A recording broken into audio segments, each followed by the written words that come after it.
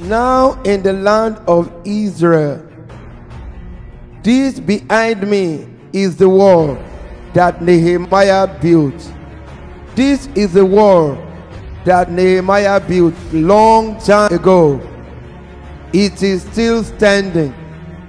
God is asking for men and women to come up like Nehemiah and build the wall. God is calling on revivalists that will build the wall, not physical wall, but spiritual wall of a nation, spiritual wall in family, spiritual wall in media, spiritual wall in education, spiritual wall over the seven mountains of influence. Will you build for the Lord?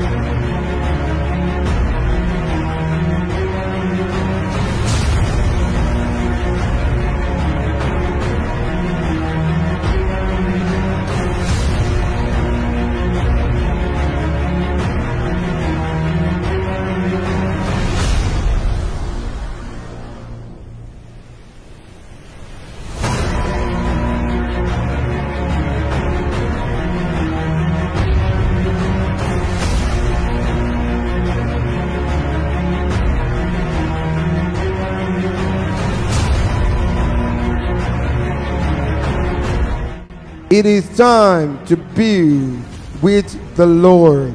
Will you be there? I will be there. See you there. God bless you.